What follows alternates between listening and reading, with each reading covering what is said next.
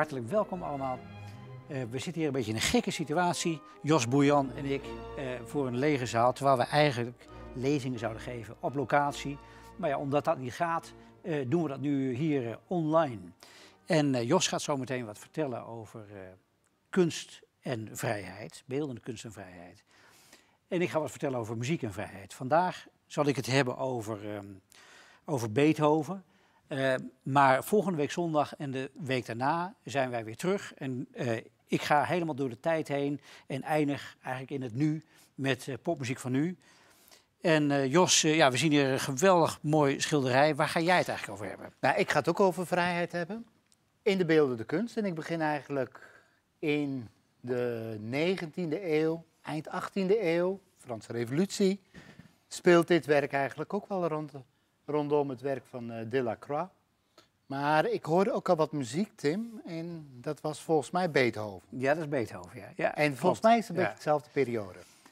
Ja, um, Beethoven, deze symfonie waar, uh, waar ik over, wat over wil vertellen, dat is het, uh, eigenlijk het begin van de romantische periode in de muziek. En ik, jij gaat het ook over de romantiek hebben. Hè? We, ja, we hebben dus nou ja, de Franse Revolutie, 1789. Ja.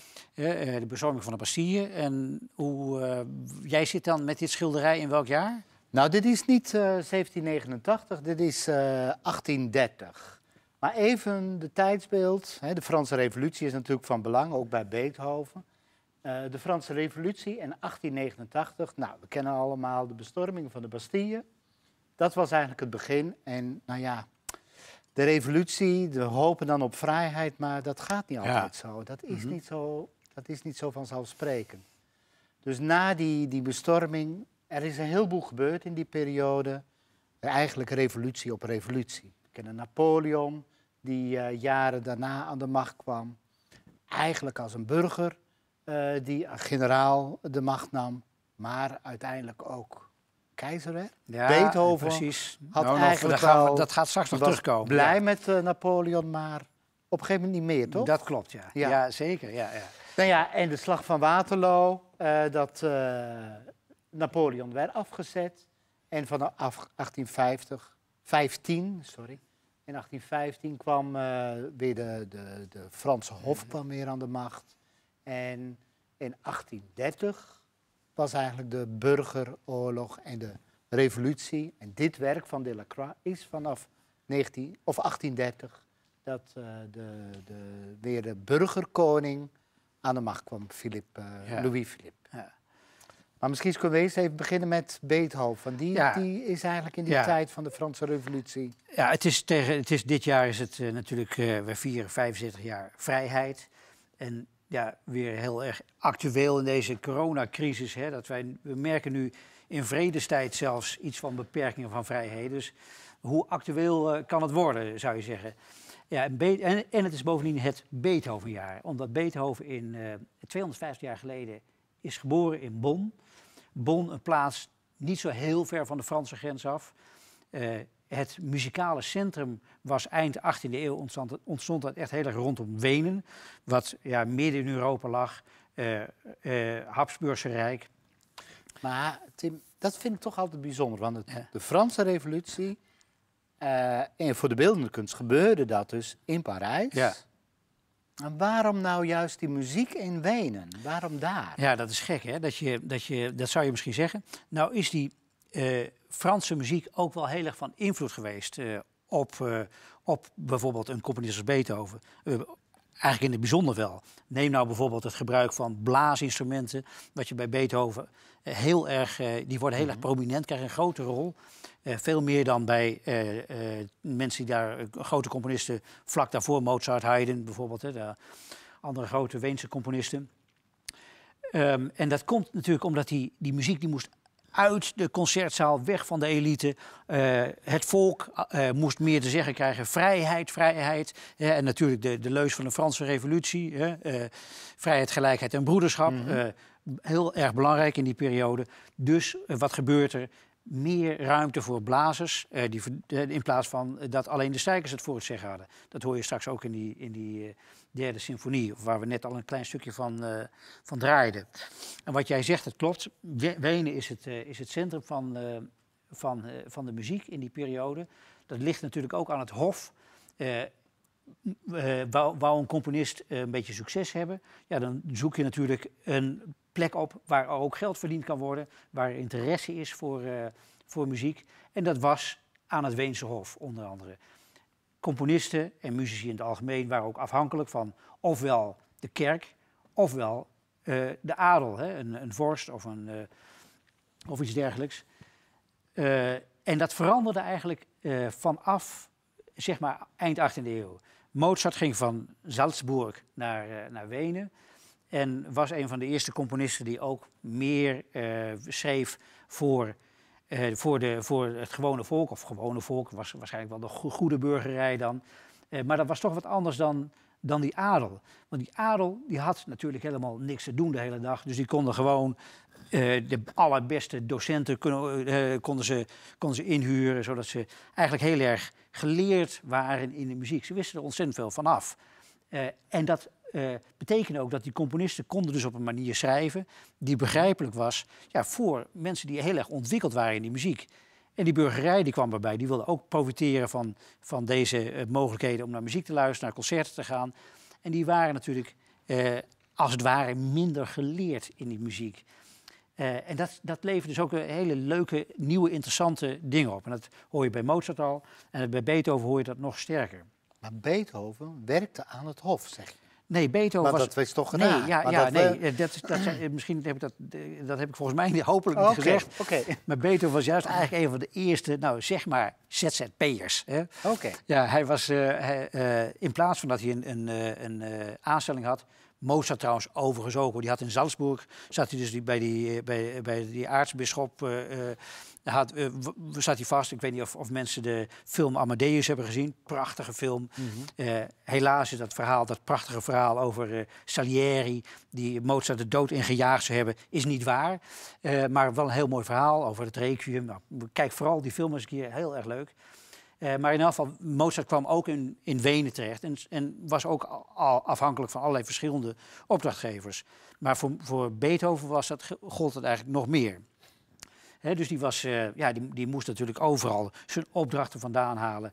En de zogenaamde academieën organiseren, bijvoorbeeld grote concerten, waren dat, waarin hij uh, dan als dirigent en componist zichzelf allerlei dingen over het voetlicht kon brengen.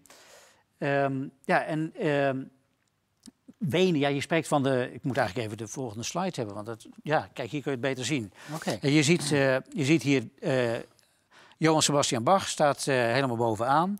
1750, dan sterft Bach. Dat is het einde van de barokperiode. Dan begint de klassieke periode.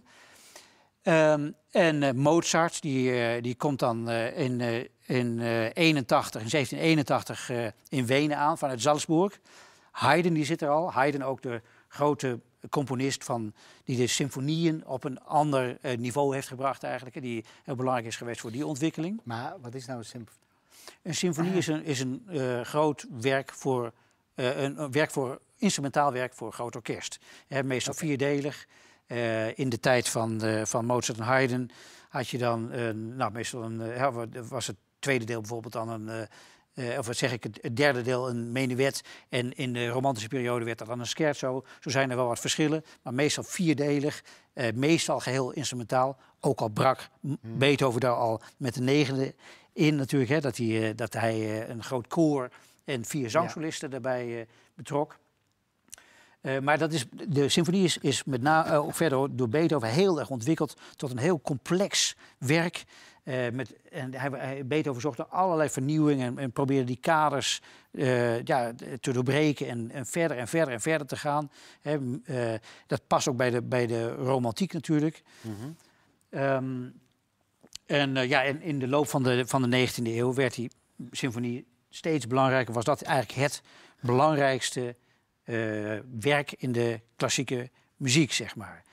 En Beethoven heeft, heeft een, een, een enorme voetafdruk achtergelaten wat dat betreft. Want het, elke componist na Beethoven is heel erg schatplichtig aan Beethoven betreffende symfonieën. De Brahms heeft er eindeloos over gedaan om, voordat hij zijn eerste symfonie durfde eh, te schrijven. Mhm. Omdat Beethoven zo groot was in de ogen van de Oké. 19e eeuwse componisten. Ehm, ja, daar, eh, eens even zien. Waar gaan we naar verder toe? Ja, nou, we hebben hier dus... eh, eh, eh, je ziet dat Beethoven die komt in 1792 uit mijn hoofd. Ik weet niet of dat hierop staat. Maar komt hij in, in Wenen terecht. Ja, staat erop. Ja, oh ja, klopt. Ja. en daar krijgt hij les. Hij wou eigenlijk les van Mozart hebben. Maar Mozart was toen al net overleden. Toen kwam hij bij, bij Haydn terecht. En dat boterde niet zo verschrikkelijk goed. Nou, daar heeft hij nog les van gehad van andere grote leermeesters. Eh, Beethoven, die, eh, die, het is bekend van, van Beethoven natuurlijk dat hij, eh, dat hij doof werd. Daar zal ik het straks even over hebben. Maar wat misschien niet zoveel mensen weten, is dat componisten uit die tijd, Mozart, Bach ook al voor die tijd, maar Beethoven ook zeker, er waren ontzettend goede improvisatoren. Die konden geweldig eh, improviseren in de klassieke muziek. En dat is tegenwoordig mm, ja, vrijwel helemaal verdwenen. Hè? Maar toen hoorde dat er echt heel erg bij. En Beethoven was er een meester, een kanjer werkelijk waar. En een hele goede pianist. Enorm, enorme eh, goede concertpianist.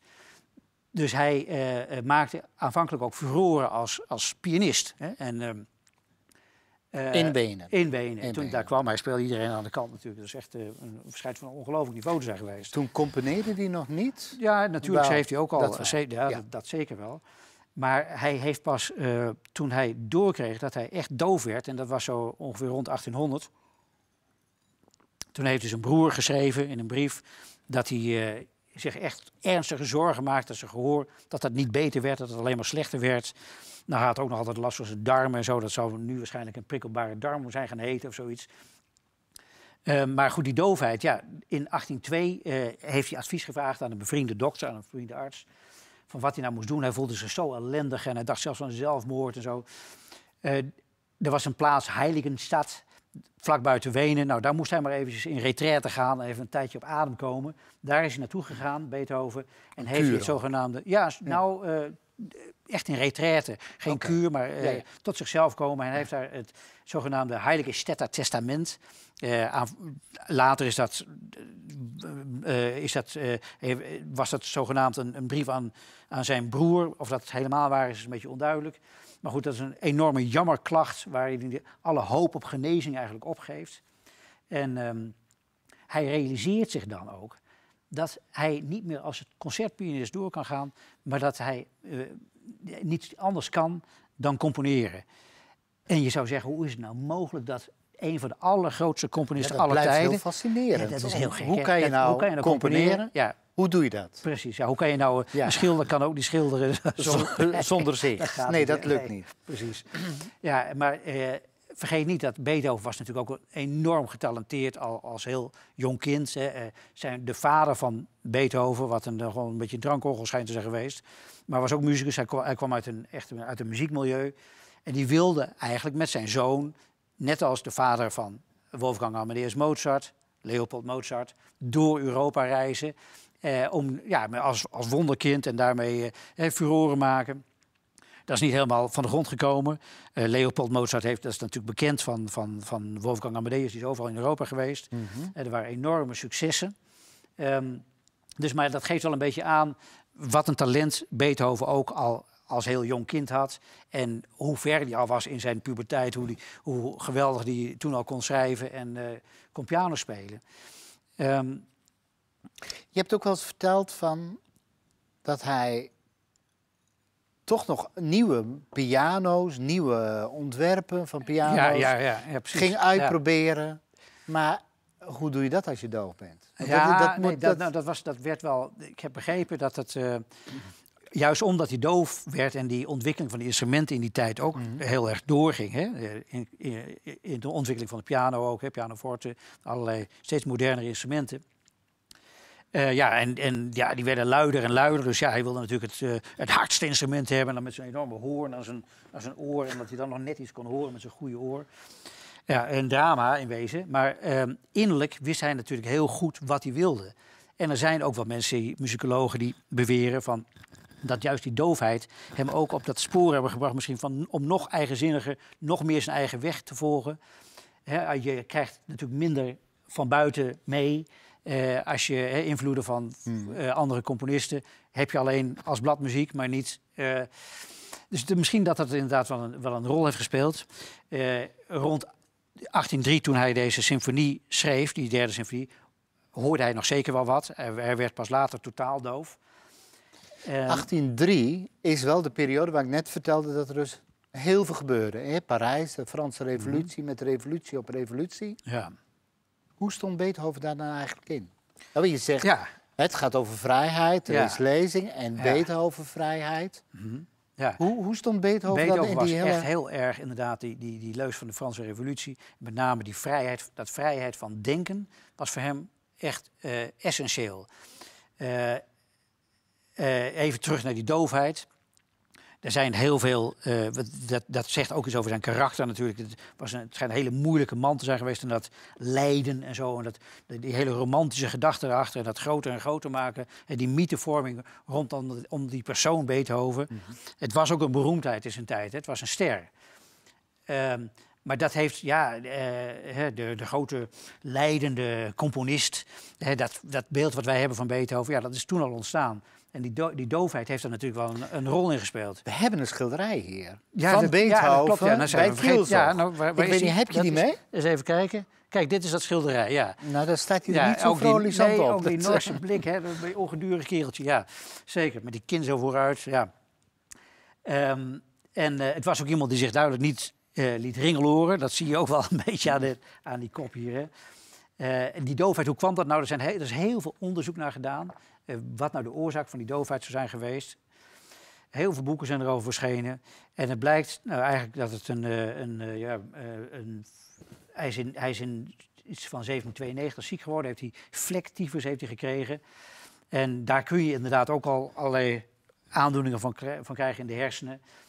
Maar wat het erger was, is dat het middel wat daarvoor werd voorgeschreven, was quinine. En Beethoven die was, zat ook wel zo in elkaar van, nou, maar het zeker voor het onzeker en even de tienvoudige dosis, huppakee, eh, erin. En van quinine is bekend dat dat inderdaad ook je gehoor kan aantasten. Dus die Ah. combinatie en dan nog met allerlei andere middeltjes, de, eh, onmogelijke middeltjes waarmee die, die zijn oren moest stoppen. Ja, een inf- enorme infectiehaard natuurlijk. eh, dus daar werd het ook allemaal niet beter van. Maar dat hij zich niet, ringel, niet liet ringeloren, dat is, dat is duidelijk. Ehm, ja, en met, dat, met dat hof. ehm, ja, hij was ook ehm, eh, heel erg overtuigd van zijn, van zijn eigen. eh, de, van, van, ja, van zijn eigen grootheid, denk ik wel. Eh, als je, dat, als je de, de verhalen leest van alles wat hij heeft gepresteerd ten aanzien van autoriteiten en, en, en het Hof bijvoorbeeld. Er is zo'n mooi verhaal over Goethe onder andere.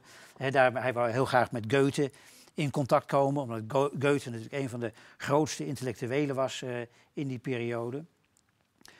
Ehm, en, ehm, ja, en Beethoven die was, zoals dat ging, van vader op zoon, was hij in de muziek terechtgekomen. hè. Mhm. Een, een timmermanszoon werd timmerman. Nou, zo is Beethoven natuurlijk ook, eh, is, de, is de eerste basis daar gelegd om, om eh, in de muziek te, eh, terecht te komen. Maar dat betekent wel dat hij veel meer dan lagere school had hij niet. En hij heeft Nee. zich later wel verdiept in, in, in de oudheid en, en de Romeinse en Griekse oudheid bijvoorbeeld. En Dus dat- Goethe was die wetenschapper. ja, precies. En, en, en groot intellectueel en een heel veelzijdig man natuurlijk. Dus was voor Beethoven een lang gekoesterde wens om Goethe te ontmoeten. En hij wilde graag ook de muziek van, eh, van zijn toneelstuk Egmond wou hij. eh, hij wou graag muziek componeren bij het toneelstuk Egmond van Goethe. En toen is hij in, eh, in Teplitz, dat is een kuuroord, waar ook nou, de adel vaak heen ging en nou, belangrijke mensen elkaar tegenkwamen.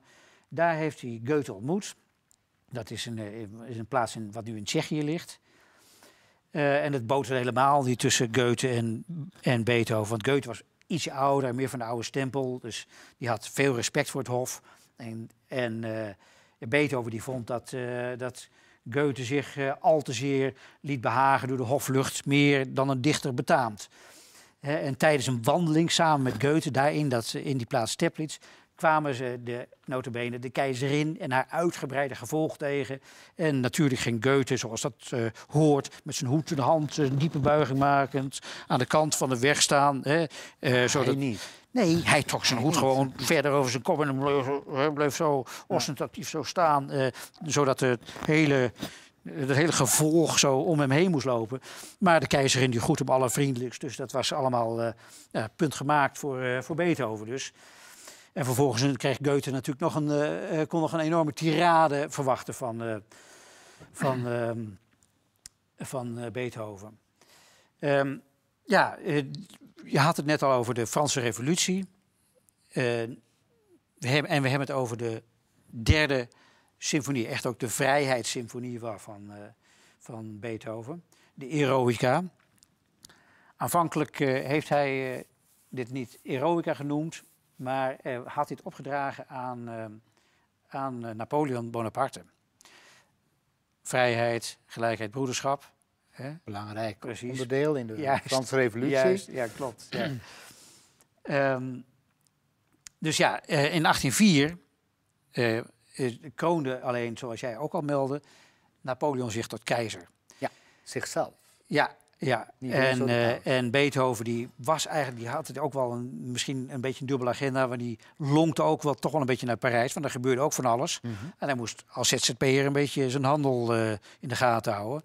Maar daar zat geen hof meer in Parijs. Nee, nee, precies. Maar dat was toch een interessante plek Ja. om, hè, eh, voor, voor Beethoven eventueel. Dacht hij althans. Maar toen, hij, eh, toen, toen Napoleon zich in 1804 tot keizer kroonde, ja, toen veranderde ook de sfeer daar. werd het erg an- anti-Napoleon. Ja, dat kon je natuurlijk wel vergeten. Dus dat was eh, een verloren zaak. En, Beethoven was zo kwaad dat Napoleon ook toch een van die mensen was die al die macht naar zich toe trok uiteindelijk. Dat, hij een, dat hij de naam Bonaparte uit dat voorblad kraste, zodat er zelfs een gat ontstond. Dit is het voorblad Dit is van het de voorblad van de, van de derde symfonie. Ja, en daar stond hier dus Bonaparte. En daar zit, staat, eh, zit dus nu een gat. ja, prachtig hè. Ja. Eh, en die derde symfonie is dus een, eh, een, een echte een voorbode van de, op de romantiek. Romant, de echte romantische periode begint misschien net ietsje later in de, in de, klas, in de muziek. Maar je, ja, de, je, je merkt ook in, in die muziek van Beethoven en ook in deze derde symfonie dat het tijden van oorlog waren en eh, die schrikeffecten bijvoorbeeld die, waar Beethoven gebruik van maakte. Het was niet dat zo'n elegant eh, symfonietje van Haydn met al die prachtige details en nuances en zo. Dat, eh, nee, het was echt bam, huppakee, een, een keihard begin, schrikeffecten, grote gebaren. en ook met name de lengte ook van die symfonie. Dat was ook echt revolutionair. Veel langer dan symfonieën eh, tot dan toe hadden Hoe lang geduurd. duurde die? Eh, nou, deze symfonie die kan al een minuut, minuutje of vijftig eh, Oké, duren, die derde. ja. Ja. Maar je had het daar straks over de, hè, het begin van de romantiek. Mhm. Maar hij was aanhanger van die Franse revolutie, waar de verlichting, de reden, was het belangrijkste. Mhm. Ik zal het straks hebben over de, de romantiek in de schilderkunst. En dan komt opeens dat individuele, emotionele, dat komt eigenlijk op. En het is juist een gevolg van, of eigenlijk een reactie op, dat, op die reden Mhm. van, van die verlichting en ook die Franse revolutie. Dus hoe zit dit dan in die romantiekwereld? Nou, er zijn natuurlijk wel heel veel overeenkomsten. Hè? De, ehm, je hebt in de, in de romantiek menselijke gevoelens, natuur, eh, liefde, dood. eh, ja, eh, hè, die emoties allemaal. Dat zijn wel hele eh, typische kenmerken voor romantische muziek. Dus wat dat betreft zijn er allerlei overeenkomsten. En natuurlijk het oprekken van grenzen zoals dat gaat, hè, als er een nieuwe stijl ontstaat. Eh, heel veel dissonanten, veel meer dissonanten bijvoorbeeld. Hè. Eh, ik, Een dissonant? een- nou ja, een dissonant. Ik zal eens even naar de piano lopen. Consonant, een consonant. Nou, in, de, in de middeleeuwen had je een paar consonanten. Dit is de duidelijkste consonant. Dat is het octaaf. Nou, dit is ook een consonant. Dat mocht in Engeland mocht ook dit. Dit is het terts. Dat mocht dan op het vasteland mocht dat dan weer niet. Maar uit, dit beschouwen wij nu ook nog eens heel erg als, als welluidend, als consonant. Nou, wat is, dan, wat is nou een dissonant? Nou, dit is een dissonant bijvoorbeeld. Of dit. Of dit. Oké. Ja, free jazz ga ik het later over hebben. Nou, vandaag nog niet, maar ehm, Ja. die dissonanten, dus hele heftige akkoorden met heel veel spanning erin. Ja, dat, werd ook, dat rekte die ook steeds verder op. En ook in deze symfonie is dat goed te horen.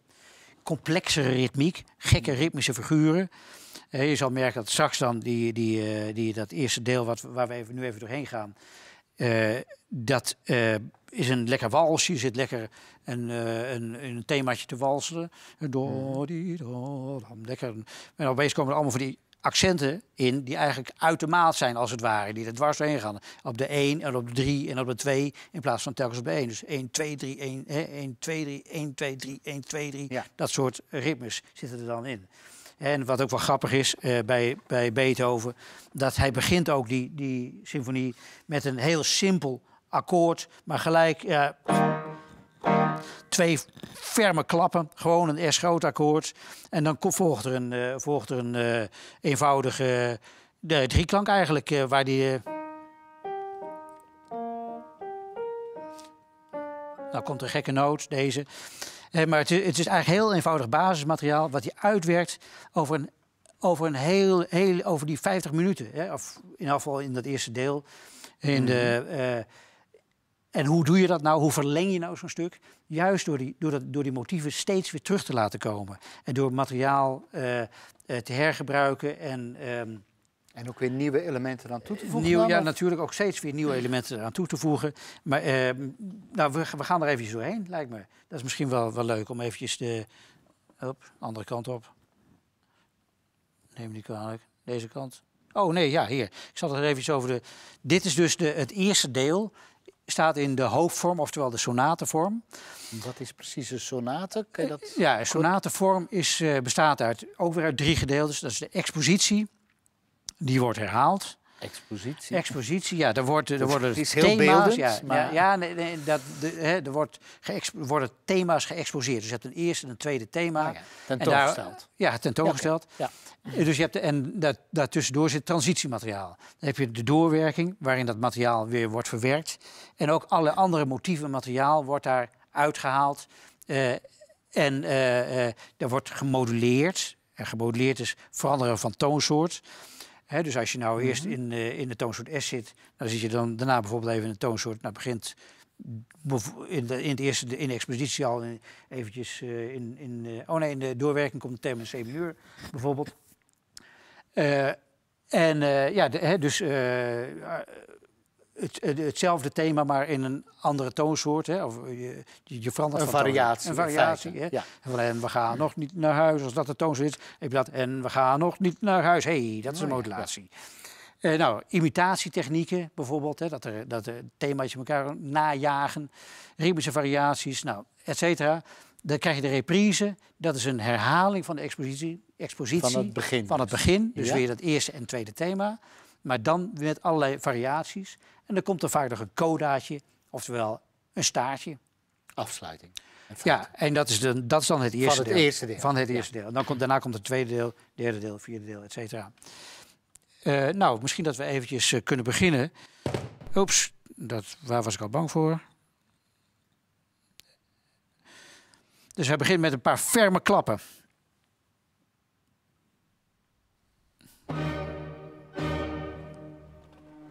Het thema in de celli en niet in de violen, wat eigenlijk gebruikelijker zou zijn. Normaal is dat zo. Nou, ligt wel iets meer Meestal voor de hand. wel, ja. Ja. Dit is het thema. Nou zijn we weer thuis. Dat was het eerste thema. Ja. Nou, het thema in de houtblazers.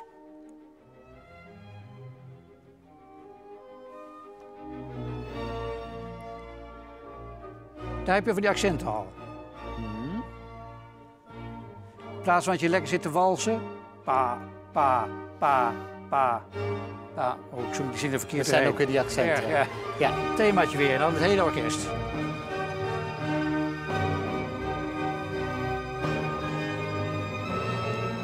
Nou krijg je een soort van neventhemaatje in de blazers. En nu in de strijkers nu.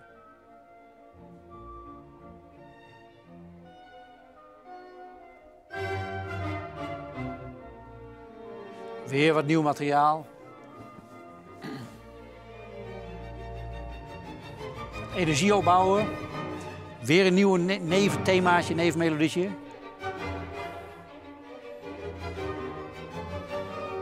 Nou, allemaal transitiemateriaal naar thema 2 toe. Om het op te bouwen, om het contrast te maken met het tweede thema.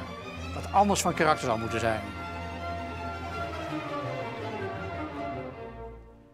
Tweede thema. Teder. Klagelijk.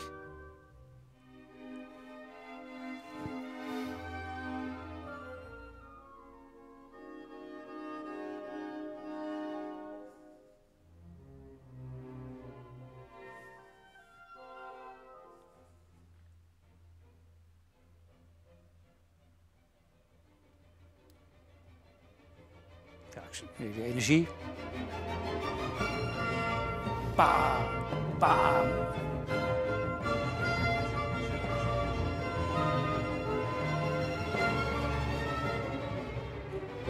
De accenten weer heel sterk.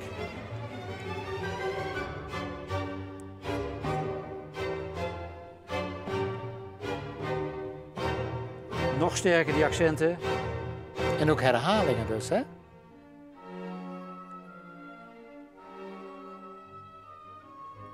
We zijn er nog niet. We gaan dan langzaam naar de afronding van de expositie toe.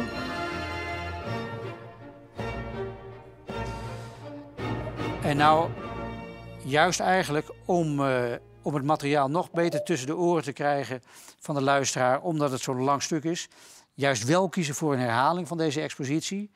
Eh, Exact hetzelfde? ja, exact Ja, ja. hetzelfde. Eh, je zou denken, nou, dan wordt het nog langer.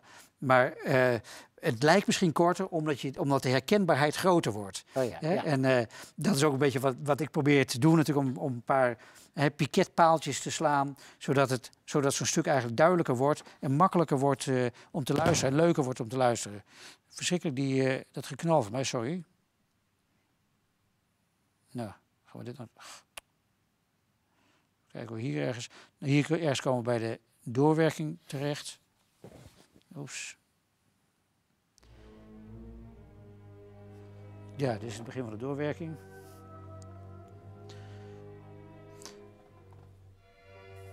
En de doorwerking is... Ja, daar wordt het materiaal dus verwerkt. Luister, ja, ja, ja. Dit themaatje weer gehoord, dat was een neventhemaatje. Mhm. Pa, dadam. Dat stukje. Pa, dadam. En dan komt zometeen de, het thema in C-mineur. In de bassen. Gemoduleerd. En nou het tweede ne- neventhemaatje. Komt er overheen. Ja, komt er weer Ja. overheen. Hij hergebruikt al die motieven weer. Nou, weer energie opbouwen. Nou, zo gaat het nog eventjes door. Ik denk dat ik maar even tot aan hier ga. En ehm, ja, het is. eh, heb ik, eh, dit is dus een stuk van het eerste deel slechts.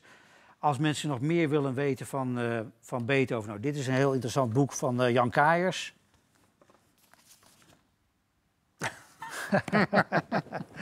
en eh, in het algemeen zijn er, zijn, er, zijn er allerlei leuke boekjes om ook kennis te maken met, met klassieke muziek. Zo heeft Erik Voermans een heel mooi boekje geschreven. Eerste hulp bij, bij klassieke muziek. Dat, zijn, dat zijn columns uit, uit het Parool verzameld. Alles begint bij Bach van Marleen eh, Kerkhoff. Ook erg interessant. En dit boekje ook heel mooi. Klassiek eh, inzicht. Waarbij ook een hele goede Spotify-lijst zit. Zodat je ook weet. Ja, dat is ook altijd zo moeilijk bij klassieke muziek. hè. Waar moet je nou, welke uitvoering moet je nou kiezen? Eh, dat, is, Ja. dat weten mensen vaak niet. Nou, dat- daarbij kan zo'n soort boekje kan een heel leuk hulpmiddel zijn. Dan weet je tenminste ergens waar je zou kunnen beginnen. Wat in elk geval gewoon eh, ja, over het algemeen zeer gewaardeerde uitvoeringen zijn. Hm. Dan gaan we denk ik naar jou toe, eh, Jos. Hè? Ja, nou ja, ik zit al een beetje eh, wat verder. In 1830 eh, bij het schilderij van Delacroix. De Juli-revolutie. De Juli-revolutie is... het was eigenlijk de opstand tegen Karel X. Ik vertelde in het begin al van dat de, de, de, de koningen kwamen weer terug aan de macht in eh, Parijs, in Frankrijk, nadat eh, Napoleon eh, de slag van Waterloo had verloren. En dat was eigenlijk wel weer dat hof wat weer terugkwam. En eigenlijk helemaal terug in. En uiteindelijk kwamen toch wel weer de, de, de arbeiders, de burgerij en de jongelingen kwamen weer in opstand. En dat waren een aantal dagen in Parijs dus, waar dus die revolutie uitbrak. En we zien hier dus Delacroix. En Delacroix is eigenlijk een, een symbool van de Franse romantiek. Alleen om dat goed uit te kunnen leggen, moet ik even wat andere dingen nog laten zien. Wat in de periode die ervoor was. Want daarvoor had je eigenlijk de, het neoclassicisme. Dus straks kom ik even terug op dit werk van uh, Delacroix om het verder nog uit te werken. Maar ik wil eigenlijk eerst. Oh ja. Want jij was. Jij, Tim, jij had wel eens verteld, jij verzamelde vroeger ja. postzegels. Ja, ja, want we hadden het er al. In, ja, in onze, er al een beetje over gehad. We hebben het natuurlijk een beetje over gehad. En uh, wat mij altijd zo opviel, die, die figuur, die Marianne-figuur hier, dat hij altijd zo'n raar mutsje op heeft. Hè? En uh, ik kan me herinneren, ik, ik uh, was heel fanatiek met het verzamelen van postzegels uit Frankrijk. Dat vond ik prachtig. En ook de kolonie en zo. Wat een, maar goed, dat terzijde. Mm -hmm. Dat mutsje herinner ik me zo goed. Heeft dat nou een speciale betekenis? Waar komt dat vandaan? Dat, wat, waarom heeft ze eigenlijk dat gekke mutsje altijd op? Ja, het is een Frigische muts. En een Frigische muts komt eigenlijk uit Klein-Azië. Daar komt het van, eigenlijk uiteindelijk oorspronkelijk vandaan. De tijd uh, van uh, dat Perzië een groot uh, land was, daar, daar begon het eigenlijk een beetje mee. Maar in dit beeld van Delacroix, of in ja, postzegels, de munten, hè, dit gekke mutsje met zo'n klein, ja, wat zit er boven, zo'n frubbertje ja, bovenop ja. zit er eigenlijk.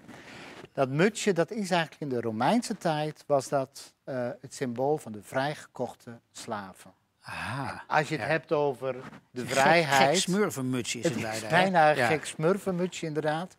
Ik weet niet wat uh, de ontwerper van uh, de het, of die nee, ermee te maken heeft, dat nou, weet ik als je, Zolang je er niet blauw van wordt als je hem nee, draagt. Nee, dat, nee, nee, volgens mij niet. Maar dat is eigenlijk hetgene, dat, dat mutsje... Uh, en dat, dat is dat, dat symbool van uh, vrijheid. En natuurlijk in dit schilderij heel duidelijk in die dingen. Ik kom straks even nog verder op terug op het werk van. want eigenlijk, de periode ervoor was de periode van het neoclassicisme. En het neoclassicisme was de periode dat er heel erg teruggegrepen werd op de klassieke tijd. He, dat was natuurlijk in de muziek was dat lastiger. Ja, dat is moeilijk. Ja. Nou, nee, er is natuurlijk geen. Uh, nee, precies. Er is van, van, uh, van muziek. Er is bekend van de oude Grieken en van de Romeinen dat ze muziek maakten.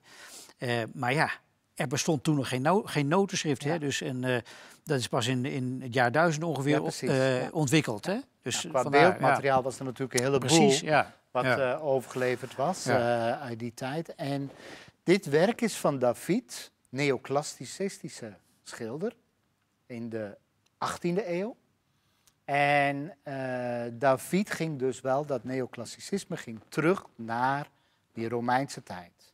En niet alleen maar in het beeldwerk, niet alleen maar in het, uh, de, maar ook in, dat was bijna de ideale staat. He, dat was he, het moreel wat er was. Dat was wel in, uh, he, bij het hof, dat was eigenlijk een belangrijke. Dit was ook een opdracht van het hof aan David. om een schilderij te maken waar juist die Romeinse mm -hmm. wereld uh, verheerlijkt werd. En wat zien we hier is de eed van Horati. Vier broers, de bro gebroeders Horatius. Vier? Ik of drie, sorry, drie, sorry, ja. sorry, sorry. Ja, ja drie. Ik kan uh, niet. Drie uh, broeders die de eed zweren om het vaderland trouw te dienen. Ja. En eigenlijk met zelfs een gevaar op eigen leven. Vader staat in het midden en neemt de, de eed af. Ja, het is een merkwaardig gebaar trouwens eigenlijk een beetje. Hè? Doe mij niet echt een vrijheid denken, dat gebaar. Maar, nee, nee, ja. nee, nee. Het is natuurlijk een beetje... Het, ik, het associeert je met Hitler? Nou, zo'n arm omhoog, dan denk ja. ik van... Uh, maar Hitler heeft goed naar Rome gekeken. Ja, naar ook, Mussolini en Mussolini weer naar, naar Rome. Naar Rome de Romeinse en zo tijd. werd een eed uh, gezworen. En zo werd ja. een eed gezworen. Hey, en wat ik ook zo... Hier zit dan... Je ziet hier een paar, paar treurende meisjes en daar iemand ook in het zwart. Hè, een rouwkleed, denk ja. ik. Hè? Uh, het is eigenlijk de familie, het is een familieplaatje. Ja? Uh-huh. Dit zou je ja? kunnen zien als een familieplaatje. En het familieplaatje is, zijn dus hè, de broers, vader, dochter en vrouw. Hè, dat is eigenlijk het familieplaatje. Ja. En wat speelt er dus nu af? Dit is het moment van de eed die gezworen wordt. En wat we daar zien, hè, want dit is nou, de, de moed, de, de nobele gedrag. En daar eigenlijk dat, de gevolgen ervan. Het had ook gevolgen. De broers gingen in gevecht met eh, een eh, naburig, naburige stad. Met de drie broers van Alba. En daar was dus een gevecht, vond er plaats. De gebroers Albe werden allemaal vermoord door hun. En één van hun overleefde het. Dat was de enige overlevende. Alleen, de vrouw die we daar eh, in het zwart zien, was namelijk gehuwd met een van de broers van Albe. Aha, Die vermoord werd. vandaar. Dus het is een Vandaar vooruitblik van dus- het verhaal. Het is een eh, vrouwenbeeld, ja. het is dus ook dat beeld. Ja. En hier zien we ook wel de En de drie weeskinderen deling. erbij, of de, de die- weeskinderen of die hun vader hebben Ja. verloren, ja. Ja. En de drie beelden natuurlijk, hè, van de, de bogen die eigenlijk ook wel hè, de, de vader centraal staat, maar de broers apart zetten. Mhm. hè, de, de moed tegenover het En hoe zit het dan met zo'n compositie van zo'n schilderij? Want zijn er nou ook overeenkomsten qua opbouw van wat je Ja, waar dat was plaatst? wel in die tijd en dat neoclassicisme was wel een heel duidelijk beeld. Werd heel duidelijk, nou, dat- het was heel duidelijk voorschreven van hoe maak je composities, hoe schilder Aha, je. Ja. Eh, het was heel academisch. Die, Ja. die, die, die regels werden juist in dat neoclassicisme heel strak gesteld. Oh ja. Dat, dat, dat was een hele vaste Mhm. regel. De academie van Het Parijs op een bepaalde manier. was- en de regels ja. die werden natuurlijk net als in de muziek steeds verder opgerekt. En Ja. mensen, eh, kunstenaars probeerden hun, de grenzen steeds verder... eh, Ja, maar dat, nou, nou, David was daar in eerste instantie nog niet zo, Ah, ja. zo mee bezig. Mhm. Later wel. Want dit is natuurlijk een heel historisch schilderij. ja, ja. Teruggrijpend op die Mhm. klassieke wereld. En, maar daarmee ook het, he- ja, het his- historisch. Maar Mhm. Historisch vanuit echt dat verleden. Mhm. En David had op een gegeven moment ook een schilderij gemaakt van Marat, de dood van Marat. Een diplomaat, journalist, die vermoord werd. En eh, Marat was een aanhanger van Robespierre. Robespierre was eigenlijk Ja. nou, een despoot. Ja. Na de, de, de Franse revolutie was het eh, Robespierre die eigenlijk oordeel gaf over eh degenen die niet meegingen in die revolutie, met alle gevolgen van dien. Hè, de guillotine is Mhm. toen uitgevonden. ja. En, eh, Velen hebben daar de dood ja. gevonden. de adel, Heel maar ook de maar- gematigden. ja. En eh, een efficiënt middel inderdaad. ja. Heel efficiënt. Gruwelijk. Marat was wel een aanhanger van die Robespierre. Ja. En hij schreef veel. Hè, je, zit, ook- je kijkt ook al van, goh, wat staat er al allemaal? Hij was dus ook Juillet. journalist, diplomaat. En eh, hij zit in het bad. Want hij had een huidziekte. En schreef dus en werkte dus in het bad. Hij is vermoord door een vrouw. En eh, die aanhanger was van eh, de, wat je nu zou kunnen zeggen, de communistische wereld. Dat was toen natuurlijk nog niet de communistische Avant la idee. lettre, Ja, ja. avant la lettre, ja. En eh, dit is eigenlijk ook een historisch schilderij. Alleen een hedendaags historisch schilderij. Voor Aha, die, Dus iets, Dus- het, iets uit het nu. Ja. ja, iets uit het nu. Ja. En David stapte eigenlijk daaruit, uit die traditie van dat neoclassicisme, naar een heel andere, hè, naar het, het schilderen, het historische schilderij van het, he- van het hedendaagse. Hè, dat is eigenlijk wat, wat David daar eigenlijk wel in deed. Het was nog niet direct dat je zegt van het, het is de romantiek, maar wel al een stap ernaartoe. Ja. hè. En dit was, wanneer, wanneer is dit geschilderd? Eh 18, halverwege de 90 jaren van de 18e eeuw. Oh ja, hier staat, hier staat, een da- hier staat een jaartal op, hè? 1893. hier zit, Of eh, 1793. Dat zal dan uh, treden. Ja, zo'n ingewikkeld getal. hè? Ja. Oké. Een ander beeld, want ik vertelde net, eh Marat is vermoord door een vrouw. En in die eerste revolutie, ook bij de eh, bestorming van de Bastille, daar waren ook heel wat vrouwen bij. Want eh, de, de verlichting was natuurlijk toch ook van gelijkheid vrijheid, gelijkheid en broederschap. En dat was ook voor de vrouwen, want de vrouwen waren alleen maar onderdrukt. En die probeerden dus daar ook eigenlijk wat onderuit te komen. En ook binnen de schilderkunst, daar was geen één vrouw die bekend was. Dat kon niet.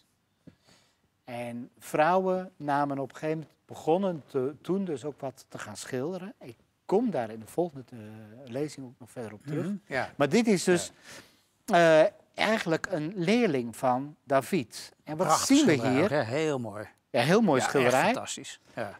En wat zien we eigenlijk de overeenkomst? Ik ga hem even terug. Hier zien we eigenlijk de soberheid in het werk. De achtergrond is eigenlijk één vlak. Ja. En dat zien we bij eh Benoit ook Mhm. heel erg terug, die, die eenvoudige achtergrond. De verfijning in het schilderen, de verfijning in het gelaat. Ehm, en wat zij dus tegelijk doet, zij schildert een vrouw. Dat gebeurde niet. Een gewone vrouw. Dus niet een vrouw als de, de Ja. Venus van Milo Mhm. of eh, een godheid of een eh, godin. Nee, een gewone vrouw en nog eens een zwarte vrouw. En dat was natuurlijk ook bij die Franse revolutie, kwam dat ook heel erg op. Dat, het afschaffen van de slavernij, waar Frankrijk Ja. toch een van de eerste Mhm. van was. Dus dit is eigenlijk wel een beetje Ah. dat vrijmaken van vrouwen, maar ook van de zwarten. Ja. Die vrijheid, die kwam, kom ik ook nog in de volgende lezing op eh, terug. Een ander werk, ook eigenlijk nog een stapje verder dan eh, David, het historische schilderij. Ja, maar ook van nu, ook van deze, van de hedendaagse eh, geschiedenis. Het vlot van Medusa. Ja, wat zie je? Daar Wat zie je? hier allemaal? Je eh? ziet daar ook een zwarte figuur daarvoor op staan. Ja. Hè? Dat is ook wel bijzonder. Dat je hier ook in, in dit werk hier ook, eh, dat het kennelijk ook een rol speelt. Ja. Oh, of zie ik dat verkeerd? Nee, dat was het belangrijke. Hè, de slavernij. Ja. Alleen er zit wel een beetje wrange dingen in. en Er gebeurde een heleboel ook in Frankrijk. Het was die periode van hè, dat, dat, dat eh, Robespierre ook nog aan de macht was. En de kapitein van het schip was aanhanger van Robespierre. Ook net zo'n dictator eigenlijk. En eh, dit is eh, dat er het schip was vergaan. De, de kapitein en zijn nou, directe bemanning hadden het goed voor elkaar. Want wat hadden die gedaan? Die hadden dus eh, de sloepen en die konden veilig weg. Maar de rest van de bemanning, nou, die mocht op een geïmproviseerd vlot. Zo, Het vlot van ellende. Hè? Ja, Met 140 man. ongelooflijk. Wat een verhaal. Ja. er zijn er acht overleefd, hebben het overleefd. En in dit werk van Chirico, ook een leerling van die David dus, eh, speelt hij opeens toch met dat moment. De, de, de, niet dus dat heroïsche Oude geschiedenis, maar iets wat van nu. net gebeurd was. Ja. Ja. En nog een belangrijkere, de gewoon, het gewone volk komt hier eh, eigenlijk heel erg naar voren. Ja. Dus de, Mhm. de, de, de, de, eh, de- ook de, de zwarten dus, hè, dat, Mhm. dat waar- werd er ook al eh, in gezegd. Maar ook de ellende. Ja. Het mocht opeens, de ellende ging hij ook schilderen. Oh. De doden die hier al liggen. En je schreef al, je zei al van, nou, en daar, wat is dat? Daar bovenaan, Nee, de verte, zwarte. ja, En wat ja. is dat in de verte? Nou, hier Ja. in de, heel in de verte, Ja, zie je een van de schip of wat dan ook? Ja. ja. de hoop. Ja. De hoop, ja. Nou ja, de, hoop van Ja. een schip die daar is en Ja, eh, misschien worden we gered. ja, ja. en daarom zwaaien ze natuurlijk met... En eh, daar zwaait ja. naar. Het is eigenlijk ook een werk natuurlijk waar wanhoop, hoop en wanhoop En oh, ja. Eh, tegenover elkaar ja, staan. Ja. Heel duidelijk Altijd weer overdreven. een terugkerend thema. Ja. Hè? Ik bedoel, want dat, Ja. Nou ja, dat zit natuurlijk ook wel Ja, in. in Beethoven in wezen En ook. Hè? Ja, zeker. Ja, het overwinnen van, eh, van, eh, ja, van de wanhoop. Ja. Van de, ja, zeker. Ja. Toch nog klassicistisch, want het compositie is heel klassicistisch, wat eigenlijk terugkomt in de klassieke wereld. Wat wel in de klassieke en de neoclassicisme, de compositie, de, de piramidale compositie, oftewel de eh, driehoekscompositie. Die zit heel duidelijk hierin, hè? Hè, die mast die hierin zit. Nou ja, Dat is ook een, eh, de- wat je ook bij die Marianne ziet, bij die en die zie je straks, zullen we dat ook Ja. nog zien bij Marianne. En dit is eigenlijk de andere compositie, de, de andere driehoek. Die Er er- zijn twee driehoeken door zijn elkaar. er twee ja. door elkaar. Ja. En een duidelijke basis hier, zeg maar de lijken zijn de basis. Waarop de, de, de wanhoop is Ja, de de basis. wanhoop is de basis, ja. En eh, de, de hoop staat eh, aan de top. ja. ja. Delacroix en Chirico, hè, de, de schilder van eh, de, eh, het vlot van de Medusa, waren bevriend met elkaar. Chirico is eigenlijk heel jong gestorven, 32 geloof ik dat Hm. hij eh, was. En eh, alleen ze werkten veel samen. Nou, hierin zie je dat eigenlijk al hè, een verhaal van Dante, de reis naar de hel die hij beschrijft. En waar we eigenlijk een beetje datzelfde van dat En van wanneer is dit dan? Van wanneer is dit dat dan is een paar jaar later als eh, 1816 zoiets is. Ah, oh, ja, Oh, ja. toch wel. En op een gegeven moment... eh, Maar dit is dan wel weer een klassiek verhaal natuurlijk. dit is wel weer Ja, het klassieke ja. verhaal. Ja, ja, Ja, maar die, dus die, weet je, je kan, niet zeggen, van, je kan niet zeggen van, van de een op de andere Nee, dag precies. dat nee, nee. eh, en het kan ook naast anders. elkaar bestaan En natuurlijk. het bestaat ja. dus ook naast Ja. elkaar. Ja. Nou, en dan komen we eigenlijk bij waar ik begon. Hè, nou, hier zien we dus wel die, die link ook eh, met. eh, En hier zien we eigenlijk heel duidelijk de, de, het verhaal van Chirico, het vlot van Medusa en eh Delacroix, waar je heel duidelijk diezelfde compositie ook weer in terugziet. In het terugkomen van die driehoek Ja, die ook hierin Ja. zit. Hè? ja. We gaan eens even wat beter kijken naar dit werk. En eigenlijk is dit wel een heel fascinerend. Ik vind het zelf een heel. ja, het lijkt alsof, alsof, alsof er echt licht door die vlag heen schijnt. Hè? Ja. De- hoe, is de- hoe krijgt een kunstenaar dat, dat toch voor elkaar? Hè? Met dat spelen met, eh, met kleur. Dat Ja, je dat, en, doet ah, alsof... Of eh, Delacroix was daar ook wel een meester in. Ja, Was een meester in werken met kleur. En je moet maar eens even heel goed kijken hoe schildert hij. Er is over geschreven toen het net eh, op de salon hing. Mhm. De salon in Parijs Ja. is eh, de jaarlijkse tentoonstelling Mhm. waar eh, nou ja, eigenlijk de, de academie koos. dus daar, daar golden en ook daar- strenge regels voor als je daar nog mocht strenge regels. Ja? Maar ja, er was ook altijd wel wat nou, tegenwind. Ja. Delacroix was daar deels een tegenwind in. Want hij had zijn werk opgehangen, het werk van de juli-revolutie, een paar maanden ervoor. Het was er echt vlak daarna Mhm. en het was nog niet eens vernist. Er zat nog geen niks aan laagje vernis of wat dan ook over. En dat werd allemaal gedaan, want dat hoorde bij dat academische werk en de vernislaag moest er overheen. Maar Delacroix heeft dat bewust niet gedaan om die rauwheid van Aha, die Franse De revolutie, revolutie. Ja. eigenlijk ook nog Ja. echt te accentueren. Nou ja, het zijn de barricades. Ja. En, En de Notre Dame hier op de op achtergrond. de achtergrond Ja. eh, Notre Dame. Ja. Maar ook de vrijheid zoeken. Marianne dus de vrijheid. Met dat mutsje dus, wat ik net Mhm. vertelde. Hè, waar we het over hadden. Eh, en op die salon was de, eh, de Marianne werd eigenlijk centraal afgebeeld. Nou, dat was dubbel. Dat kon eigenlijk niet. Nou, wel en niet. En ze was ook nog eigenlijk bloot tot aan de heup. Ja. Nou, sommigen vonden haar een hoer. Ja. Aan de andere kant, de anderen vonden haar de heldin. Hè, ook die vrouwen die opeens ook wat opkwamen. En dat kon ook weer. Dus dat had heel erg te maken met nou ja, die mensen, hè, de verschillende meningen, ook in die samenleving. Ehm, de jongelingen. Hij heeft er heel duidelijk de, de jeugd, de Ja, toekomst eh, ja, in gezet. Die is, dat is een belangrijke. De burgerij, die we hier heel duidelijk zien. Mhm. En de arbeiders met de sabel. Oh ja. Nou ja, en daarachter gebeurt er van alles. Barricades.